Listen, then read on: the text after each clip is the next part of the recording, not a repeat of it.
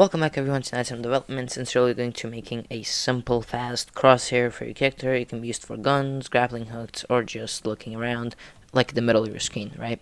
So for this we're actually going to um, just basically you can Google crosshair um, transparent background online and there's gonna be a bunch of these little pictures and a bunch of websites where you can find like the actual like aim without its like white background and for this one, we're actually just going to use the one in our Discord server. This will be linked below our video. So you're just going to open this up. And you're going to be faced with this little crosshair. And this is on Google Drive, so you're just going to download. And it's done downloading already. So you're going to close this and go back to your game. This is the game we're actually making with our YouTube channel with tutorials. You can go back and find it. I'm going to link it right here in this corner. And um, so now you're just going to go to your files and just drag it right into your game. And as you can see, it's right down there. And now to make a crosshair, you're going to go to your player, camera, and under the camera feature you're just going to go to UI and canvas. Basically canvas let's just name it crosshair so we don't lose it. Crosshair that's it. It's just a big box. This is basically your player screen. This is what holds all the text and images.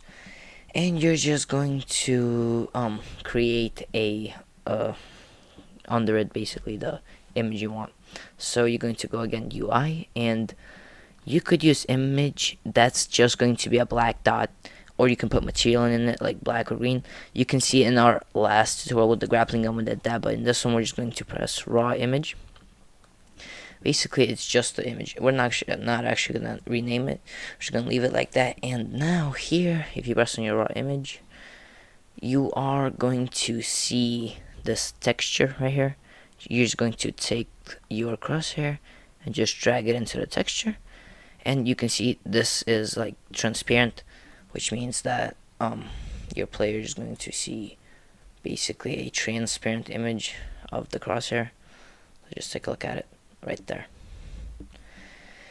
And you are basically done right? So your cross if we just take a look at our press right here game this is what you're going to see you can scale it up the way you want it. So right here you're just going to press I don't know let's make it 50 here and I don't know 50 here. That looks pretty good right? So now all we have to do is that's it. We're done. And we're actually going to test it out. Going to press our game. And oh yeah look. And now when you for example shoot or grapple it shoots right into the middle of your screen which is amazing Thank you guys for watching this video. Please leave a like if you like it. Add comments on anything you need. Follow us on social media. And follow our channel. It's not that big and we appreciate all of our followers. Thanks a lot for watching and have a great day.